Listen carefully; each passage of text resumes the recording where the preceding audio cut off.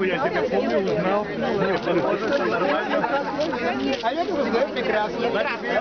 Здравствуй.